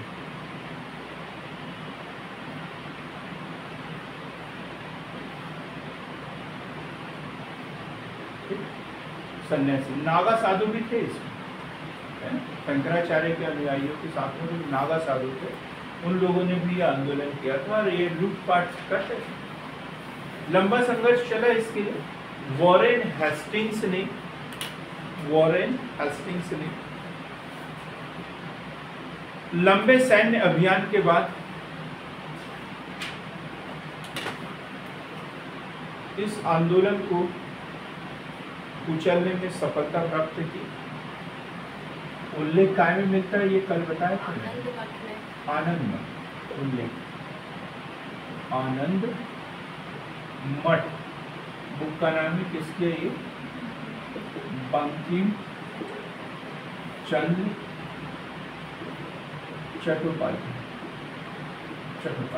आनंद मठ में ये उल्लेख मिलता सन्यासी बुद्ध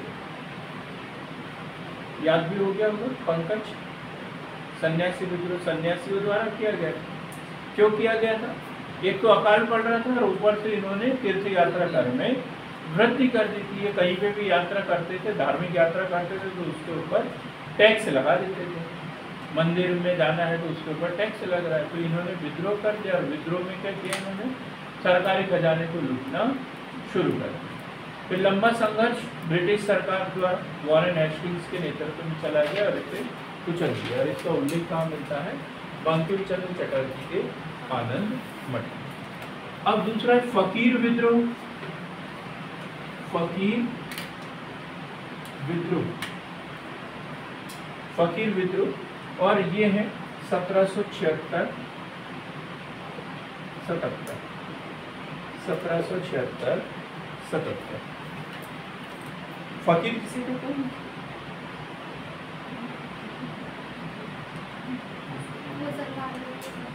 जी?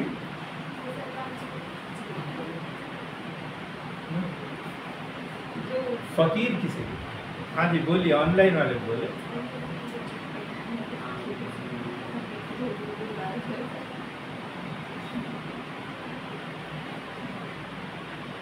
गीत गाते थे और हाँ तो हाँ। जो भीख मांगते हैं, जो मांगते हैं, उसे फकीर कहते हैं। जिसके पास कुछ भी नहीं है, उसे फकीर कहते हैं। लेकिन यह फकीर शब्द थोड़ा सा क्या है, भाषा के आधार पर हैं। क्योंकि ये दूसरी भाषा का शब्द है, अरबी, फारसी के इस भाषा का शब्द है तो ये वहाँ से आया वाला शब्द है तो वहाँ पर जो धार्मिक अनुयायी, जो धर्म के आधार पर मांगते थे तो उसे फकीर कहते थे। तो इस आधार पर है ये फकीर लिखेंगे इसे, यह घुमक्कड़ मुसलमान धार्मिक फकीरों का गुट था। घुमक्कड़ मुसलमान धार्मिक फकीरों का गुट था।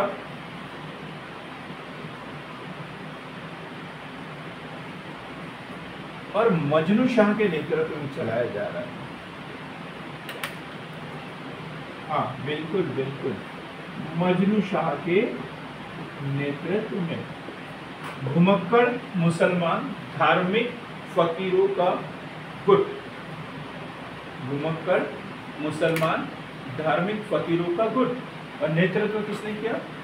मजनू शाह। मजनू शाह। अंग्रेज़ी शासन के विरुद्ध, अगली लाइन अंग्रेज़ी शासन के विरुद्ध विद्रोह करते हुए जमींदारों व अमीर किसानों से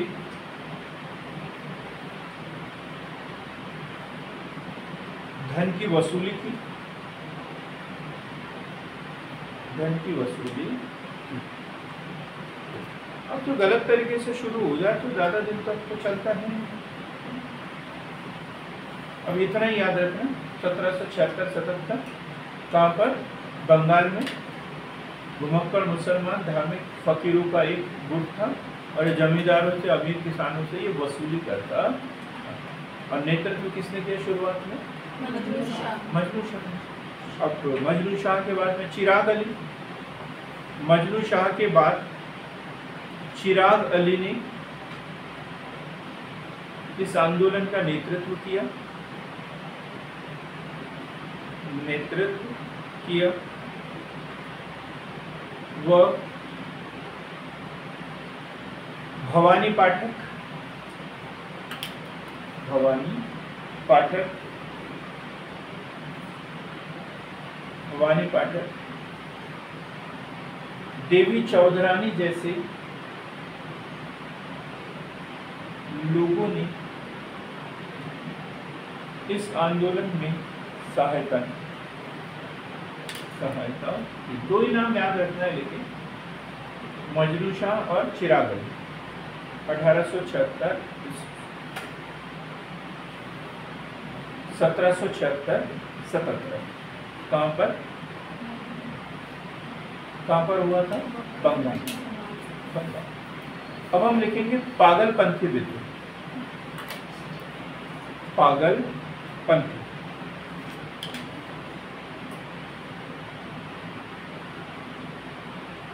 पागल पंथी विद्रोह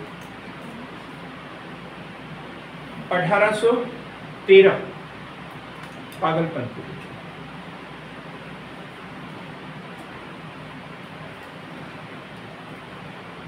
पागलपंथी विद्रोह। 1813 से 1833 तक लगभग लंबे समय तक चला है पागलपंथी विद्रोह। और ये है भारत के उत्तर पूर्वी भाग में। उत्तर पूर्वी भाग में। जमींदारों के विरुद्ध था। जमींदारों के विरुद्ध कौन था नेता इसका? भारत के उत्तर, पूर्वी भाग में जमींदारों के विरुद्ध कोई बता दो कौन था इसका नेतृत्व करता? टीपू, बिल्कुल सही बोला। टीपू। टीपू इस आंदोलन का नेतृत्व करता था?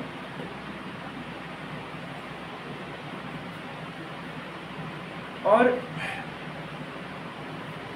टीपू इतना मतलब इस आंदोलन के माध्यम से आगे बढ़ गया था उसने एक सरकार अपनी बना ली।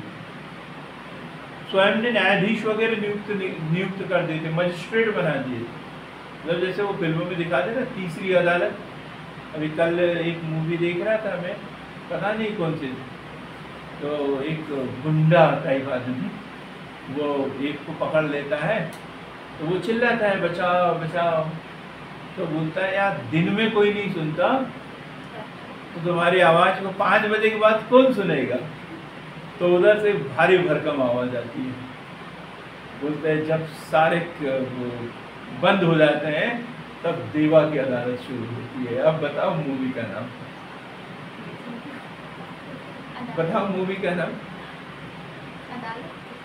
नहीं, जिद्दी। कौन सी है? जिद्दी। बोलते किसकी अदालत शुरू होती है? देवा की अदालत शुरू होती है। तो वैसे इन्होंने काम किया था। मजिस्ट्रेट वगैरह सब नियुक्त कर दिए थे खुद ही निर्णय करने लग गए थे कि तुम्हें कितनी, यदि जान प्यारी है तो इतने रुपए देना पड़ेगा, ऐसी जो अड़ीबाजी टाइप ये करने लग गए थे। पागलपंथी विद्रोह। लेकिन 1833 ईस्वी में ब्रिटिश सरकार द्वारा इस विद्रोह को कुचल दिया गया। इस विद्रोह को कुचल दिया गया। एक बड़ा आंदोलन पढ़ेंगे हम, बहावी आंदोलन।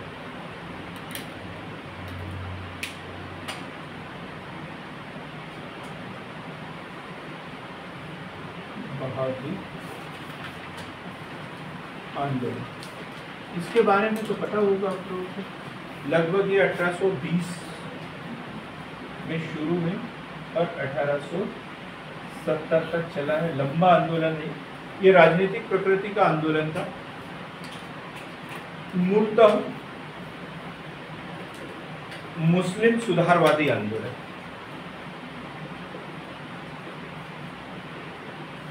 मुस्लिम सुधारवादी आंदोलन मुस्लिम सुधारवादी आंदोलन eighteen twenty two eighteen seventy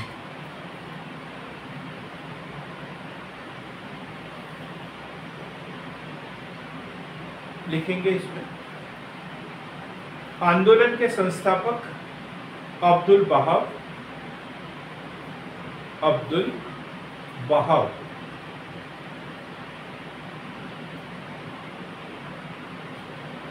दो लोग इससे जुड़े हुए हैं। एक है अब्दुल बहाव।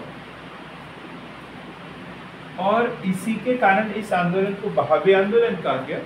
लेकिन बाद में इसमें सैयद अहमद, राय, बरेलवी।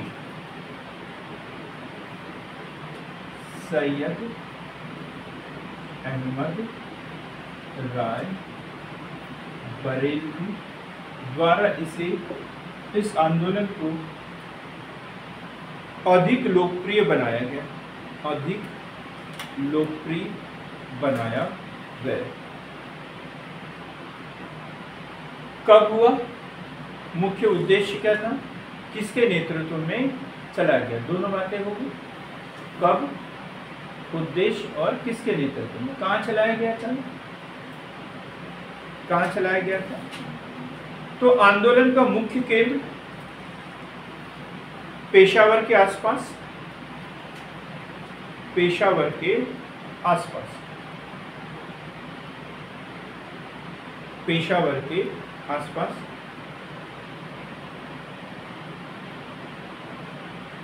इस आंदोलन के माध्यम से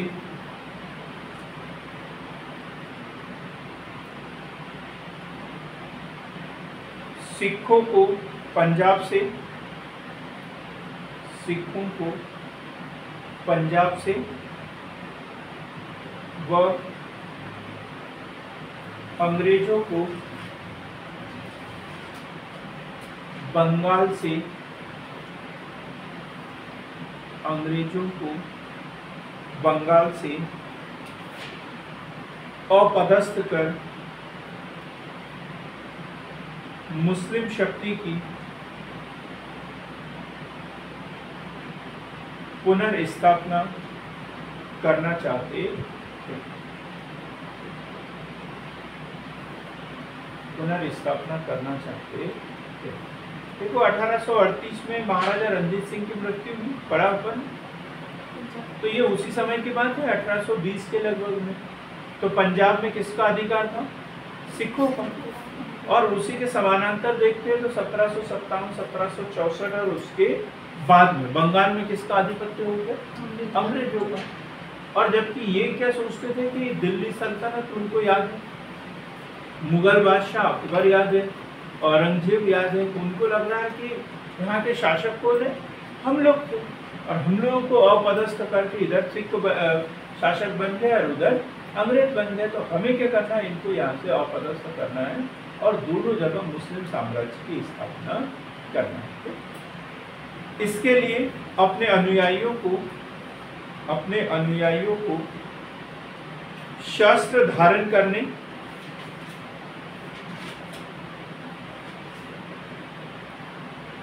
शस्त्र धारण करने, सैनिक वेशभूषा धारण करने, व सैनिक प्रशिक्षण की बात करते थे।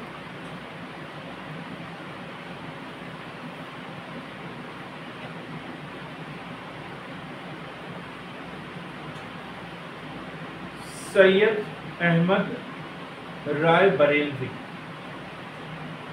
ध्यान से लिखेंगे जरा। सैयद अहमद राय बरेलवी की मृत्यु के बाद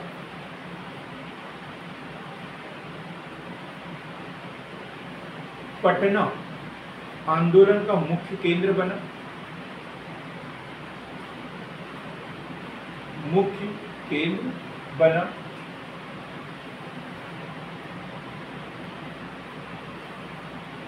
विलायत अली विलायत अली, इनायत अली,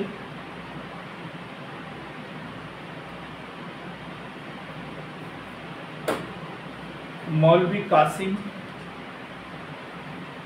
आदि महत्वपूर्ण नेता, आदि महत्वपूर्ण नेता इस आंदोलन से जुड़े। इस आंदोलन से जुड़े।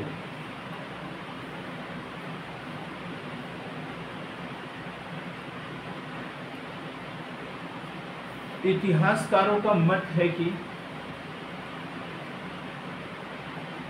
इतिहासकारों का मत है कि यह आंदोलन इतिहासकारों का मत है कि यह आंदोलन अठारह सौ सत्तावन की क्रांति से कहीं ज़्यादा अधिक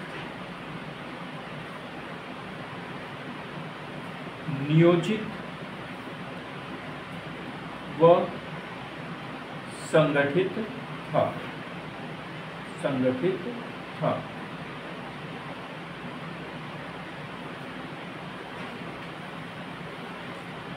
अब ये भी बोला कि यह आंदोलन मुख्य रूप से मुस्लिम आंदोलन था, लेकिन उन्होंने हिंदुओं का विरोध नहीं किया था विरोध किसका किया था?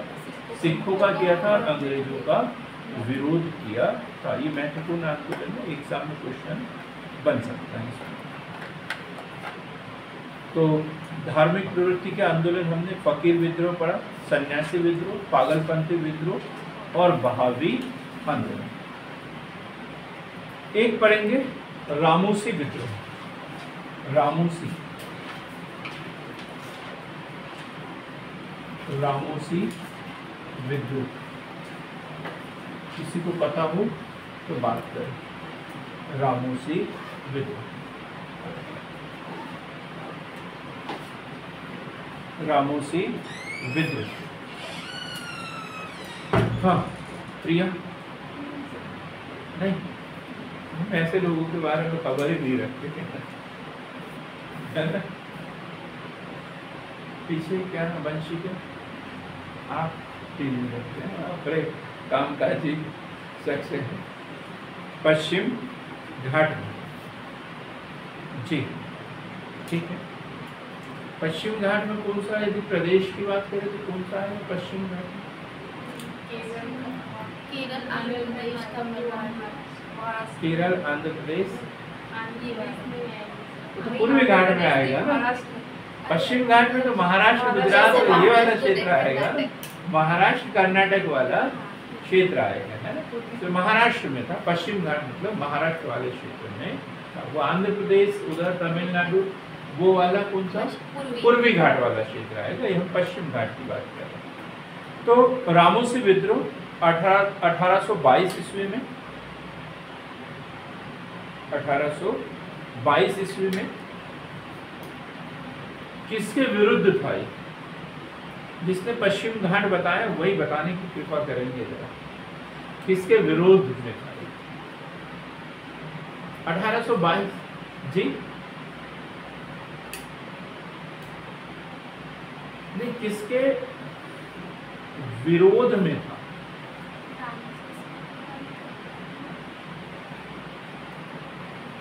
ब्रिटिश सरकार के विरुद्ध था जमींदारों के विरुद्ध था स्थानीय राजाओं के विरुद्ध था किसके विरुद्ध? अब देखते हैं अठारह सौ बाईस ईस्वी थोड़ी सी ऐतिहासिक पृष्ठभूमि देखते हैं। तो 1822 से पहले हम 1818 की घटना पर थे। 1818 में क्या तृतीय आंध्र मराठा युद्ध। और इसमें मराठा पूर्ण रूप से समाप्त हो गया। मराठा खत्म। क्योंकि उसमें पेशवा पद भी क्या कर दिया? समाप्त कर दिया था। तो पेशवा के जो सैनिक वगैरह थे, वो कहा जाएँगे उनको तो आदत है लड़ने, झगड़ने की और कमाई करने अब वो बेरोजगार टाइप हो गए थे। लेकिन अब नौकरी छोड़ सकता है, लड़ना तो नहीं भूल सकता। लड़ना तो नहीं भूल सकता ना। अब यही बात हुई थी उनके साथ। तो वो मराठे की मराठे की सेना के सिपाही थे। पहले के जो मराठे थे ना, उनके सेना के सिपाही थे। और ये अंग्रेज़ी प्रथाओं के, परंपराओं के विरुद्ध अपना आंदोलन चला रहे लिखेंगे क्लियर हो गया? कॉन्सेप्ट आ गया ना समझ में? कौन ये तो लिखेंगे। इस विद्रोह में उन सैनिकों द्वारा भाग लिया गया, जो पहले कभी मराठों की सेना में शामिल थे।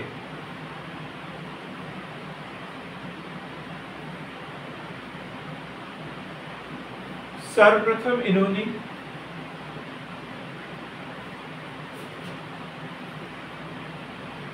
सर्वप्रथम इन्होंने सतारा में लूटपाट की।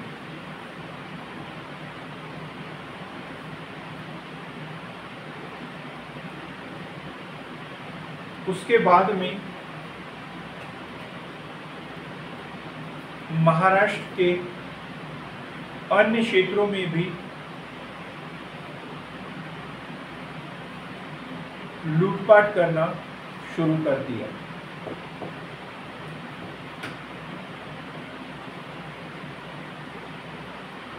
रामोसियो ने उमाजी उमाजी उमा जी रामोसी क्या है एक जाति? जैसे वो थे ना ठग मैं। ठग थे, उस तरीके से ये ये जाति थी और इस वर्ग के लोग पहले मराठों की सेना में लड़ते थे। ये अब बेरोजगार हो गए तो अब क्या करें? लूटपाट करना शुरू किया। पहले किसके नेतृत्व में किया, ये मुझे अभी याद नहीं आ रहा। लेकिन दूसरी बार जो हुआ था उमा जी के नेतृत्व में इन्होंने लूटपाट करना शुरू किया। अब अंग्रेज़ सरकार बोलती है अब क्या किया जाए? क्या किया जाए? इनका स्थायी समाधान होना चाहिए। तो समाधान के रूप में क्या किया इन्होंने? ब्रिटिश सरकार ने रामोसियों के विद्रोह को समाप्त करने के लिए भूमि दान में दी उनको भूमि दान में दी व पहाड़ी पुलिस में नौकरी दी। पहाड़ी पुलिस में नौकरी दी। पहाड़ी पुलिस में नौकरी दी। दो तीन विद्रोह छोटे छोटे सिर्फ़ डेट सन और ये लिखवा देंगे गड़करी विद्रोह। गड़करी विद्रोह 1844 कहाँ पर हुआ होगा? इस नाम से एक बहुत बड़े राजनेता है। नितिन गडकरी, कहाँ से सांसद है ये? नागपुर? महाराष्ट्र से है। तो गडकरी लोग मतलब यही के तो गडकरी विद्रोह कहाँ पर? कोल्हापुर, महाराष्ट्र में। कोल्हापुर, महाराष्ट्र में।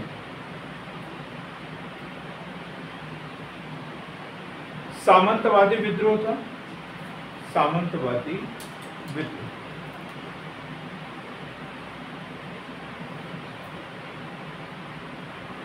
सामंतवादी विद्रोह मतलब सामंत जमींदार इनके विरुद्ध था, ये लगान उगान को लेकर था। अगला लिखेंगे, बेलू टम्पी विद्रोह बेलू टम्पी विद्रोह बेलू टम्पी विद्रोह, बेलू टम्पी विद्रोह। ये 1808 नौ 1808 नौ में, त्रावणपुर केरल में हुआ था। त्रावणकोर केरल में हुआ। टीपू सुल्तान के बारे में भी पढ़ा आपने? वो कहाँ अंग्रेज़ों का ये समर्थित राज्य था? त्रावणकोर अंग्रेज़ों के समर्थन से शासन करते थे। और टीपू सुल्तान या हैदर अली के बारे में जब भी पढ़ा कि वो अंग्रेज़ों को अंग्रेज़ों से बदला लेना है तो सबसे पहले कहा आक्रमण करता था? त्रावणपुर के राजा पर तो वहाँ का जो दीवान था, वो नाम था वेल वेलुटन उसका नाम था त्रावणपुर का दीवान था। और जब ये अंग्रेज़ी राज्य में पूर्ण रूप से मिला दिया तो ये क्या हो गया? एकदम बेरोजगार हो गया इसके पास में कुछ बचा ही नहीं। तो इसके नेतृत्व में वेलू वेलू टम्पी के नेतृत्व में ये विद्रोह हुआ था। तो कौन था ये? त्रावणपुर का दीवान दीवान और अब अंग्रेज़ों ने भी सोचा अब क्या किया जाए? राजा तो अपना हो गया। दीवान की क्या ज़रूरत है? अपने पास इससे बड़े दिमाग वाले लोग हैं। राजा को ज़रूरत पड़ती थी दीवान की काय के लिए, सहयोग के लिए। राजा महाराजा तो अन्य कामों में लिखते रहते थे। तो दीवान जो थे, वही सब कुछ करते रहते थे। प्रशासन जो है, वो दीवान करते रहते थे। तो अब दीवान की ज़रूरत ही नहीं है। अब इसने विद्रोह कर दिया। तो अंग्रेज़ों ने बोला कि कुछ नहीं अब इससे कोई समझौता वगैरह नहीं करते। अब इसको बोलते हैं कि तुम स्वर्ग रूप में जाओ और वहाँ दीवानी देखो। तो क्या कर दिया इसको? सार्वजनिक रूप से फांसी पर लटका दिया। सार्वजनिक रूप से फांसी पर लटका दिया। और ये आंदोलन अपने आप ही समाप्त। क्लियर रावण को? वैल्यू टम्पी विद क्या?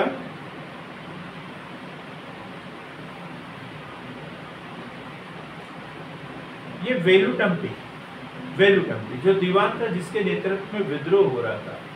एक्चुअली क्या है कि त्रावणकोर जो है उसे सहायक संधि के माध्यम से ब्रिटिश साम्राज्य में मिला है।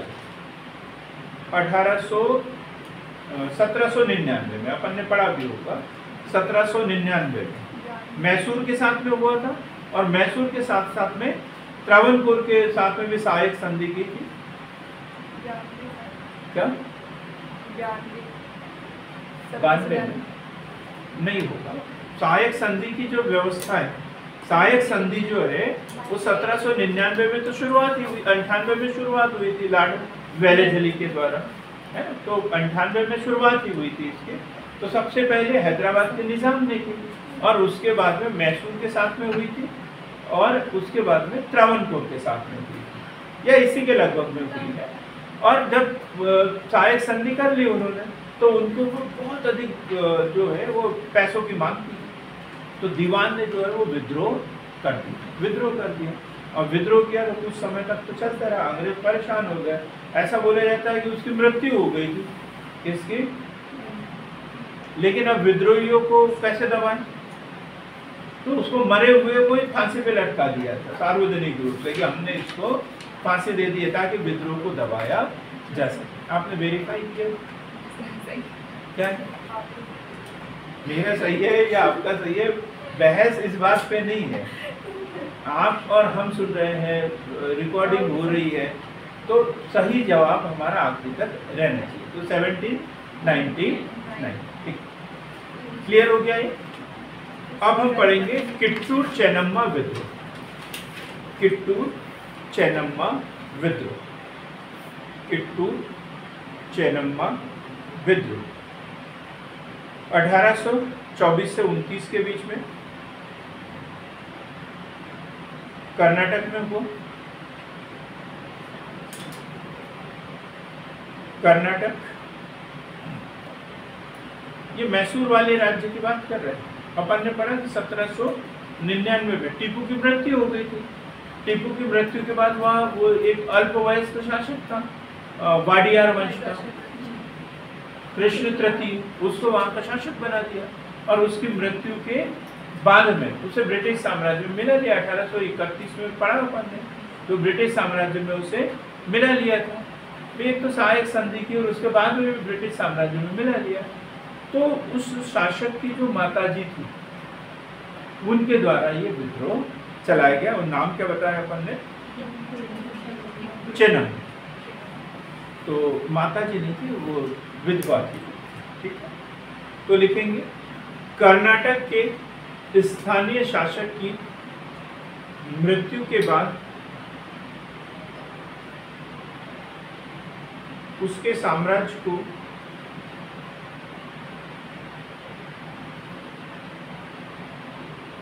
मृत्यु का उसके उत्तराधिकारी को उसके उत्तराधिकारी को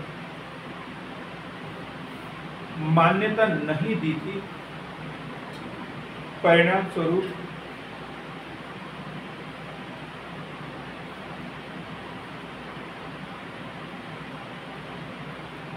चेनम्मा ने यह विद्रोह किया विद्रोह किया क्लियर तो अब ये विद्रोह हो गए, कुछ अलग तरीके से पढ़ रहे थे। और अलग तरीके से जो विद्रोह पढ़े, उसमें अपन ने अन्य जन आंदोलन है उसमें धार्मिक प्रवृत्ति के विद्रोह जो थे, वो पढ़े और कुछ राजनीतिक उत्तराधिकार के लिए जो संघर्ष हुए, वो पढ़े। अब हम दो चार विद्रोह की बात करेंगे, जो जनजातीय विद्रोह ये भी महत्वपूर्ण है और इससे भी क्वेश्चन पूछे जाते हैं। जनजातीय विद्रोह। कोई बता दीजिए ना एक दो नाम जनजातीय विद्रोह के। जी? टांटिया भीम। संथाल विद्रोह ये बोला था किसी संथाल विद्रोह ऐसे विद्रोह की हम बात कर रहे हैं। संथाल विद्रोह तो प्रमुख विद्रोह ये जनजाति विद्रोह के कारण क्या है इनके कुछ अलग कारण ये लगान वगान इससे ज़्यादा इनको फ़र्क नहीं पड़ता था। ये जन जंगल, ज़मीन। जल, जंगल, ज़मीन को लेकर इनका विद्रोह होता था। तो सबसे पहले हम विद्रोह की बात करते हैं, संथाल विद्रोह। संथाल विद्रोह, अठारह सौ पचपन छप्पन। संथाल विद्रोह अठारह सौ पचपन। छप्पन के बीच में।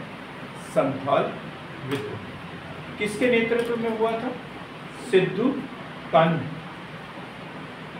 सिद्धू कानू के नेतृत्व में। सिद्धू कानू की नेतृत्व में। नेतृत्व क्या थी इनकी मांगे प्रमुख सिद्धू कानू के नेतृत्व में? विद्रोह की शुरुआत आदिवासी द्वारा भागलपुर से, ये छोटा नागपुर का पठार, भागलपुर से राजमहल के बीच।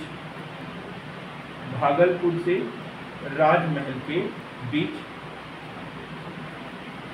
कारण। कारण था?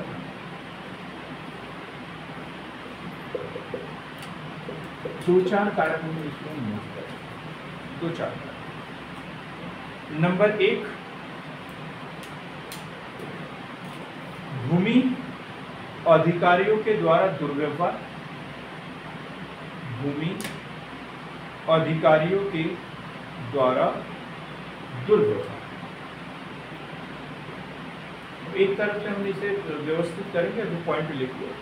दूसरा, पुलिस का दमन। पुलिस का दमन। तीसरा, जमींदारों व साहूकारों की अवैध वसूल अब इसको समझेंगे तीनों कारण सबसे पहले हम नीचे वाला देखते हैं। जमींदारों और साहूकारों द्वारा अवैध वसूल मतलब जो विधिवत जो कर थे, उसके अतिरिक्त ये कर लेते थे। और कल कर वसूल करने के लिए जमींदार तो नहीं जाएगा। वो अपने अधिकारियों को, अपने कर्मचारियों को भेजते थे। और इनके कर्मचारी जो है, इनके घरों में जाते थे। और ज़बरदस्ती मतलब उनके साथ दुर्व्यवहार कर रहे हैं। पैसे नहीं है तो उठा के लेके जा रहे हैं। अवैध तरीके से महिलाओं के साथ में गलत व्यवहार। देखो, इसको बड़े अच्छे से बताया है। अभी एक मूवी देखी थी। कौन सी थी? बड़ी अच्छी मूवी है, शाहरुख खान इसमें हीरो है। अभी कौन सी मूवी आपको, शाहरुख खान? आपको पता नहीं नहीं पता? पठान। नहीं, उसके बाद में। डंकी और पठान के बीच। डंकी और पठान के बीच में। इसमें देखो, बैंक कर्मियों का दिखाया गया है कि वो वसूली करने के लिए जाता है। एक किसान जो है, वो वहाँ पे अपनी बेटी को पढ़ने के लिए बाहर भेजना चाह रहा था। वो बेटी जो है, उसकी पढ़ने के लिए कहीं बाहर जा रही थी और बैंक कर्मी जो है वो उससे लगान वसूली के लिए या ऋण वसूली के लिए वहाँ पहुँच जाते हैं। तो उस गरीब किसान को, बेचारे को उसकी बेटी के सामने, पूरे गाँव वालों के सामने निर्वस्त्र कर देते हैं। कितना अपमानित होता है। वो बेटी को तो भेज देता है पढ़ने के लिए। और खुद जो है, वो उसी बस स्टैंड पे जो है, वो पेड़ से फांसी पे लटक जाता है। कौन सी याद आएगा जवान कितना कम ज्ञान रखते हैं आप लोग। फ़िल्म का नाम क्या है? जवान। उसमें इस समस्या को बताया गया कि जो किसान लोग थे, उनके साथ में किस तरीके से मतलब दुर्व्यवहार करके उनके साथ में वसूली की जाती थी। अब पहली घटना घटी कि आपने अनावश्यक रूप से उनके ऊपर कर लगाया। फिर वसूल करने का तरीका भी आपका गलत सम्मानजनक तरीके से भाई नहीं है। तो उसका कुछ निराकरण बताते ये वो नहीं ऐसा थोड़ी कि जो चीज़ दिखी उठा के लेके चले गए। आप ऐसा तो नहीं बोल सकता। अब मान के चलो उनके साथ में दुर्व्यवहार हुआ तो कहाँ जाएँगे? कहाँ जाएँगे? पुलिस के पास। पुलिस के पास जाएँगे ना? पुलिस के पास जाते हैं तो वहाँ डंडे मार रहे वहाँ पे भी उनके साथ में तो ये कारण लिखे ना अपन ये ये सब उनके साथ में हो रहा था। संथाल आदिवासियों के साथ में। तो फिर मजबूरी में अब कुछ नहीं बचा हमारे पास में तो। पत्थर उठाने के अलावा दूसरा कोई उपाय बचा ही नहीं तो यही एक उपाय था। और उन्होंने इसी उपाय को अपनाया। संथाल विद्रोह को संथाल विद्रोह को सिद्धू और कान्हू द्वारा नेतृत्व प्रदान किया।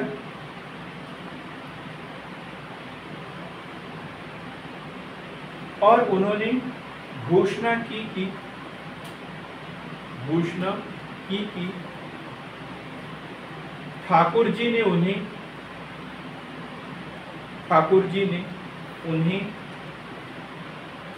आदेश दिया है, आदेश दिया है कि वे आज़ादी के लिए हथियार उठा लें आज़ादी के लिए हथियार उठा ले। नेहा, आप बताएँ, ठाकुर जी कौन? अब पढ़ रहे हो, आप अभी जनजाति। आपको पता होना चाहिए। हाँ? देवता थे, है ना? भगवान। उन्होंने आदेश दिया है कि अब हद हो गई है, अब तुम हथियार उठा क्लियर हो गया एकदम कॉन्सेप्ट क्लियर है इसका। सरकार ने संथालों को, सरकार ने संथालों के विद्रोह को कुचलने के लिए मार्शल लॉ लागू किया मतलब सैनिक शासन लागू किया मार्शल लॉ लागू किया।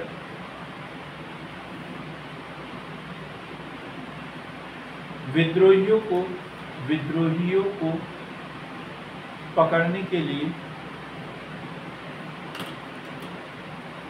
इनाम की घोषणा की। इनाम की घोषणा की।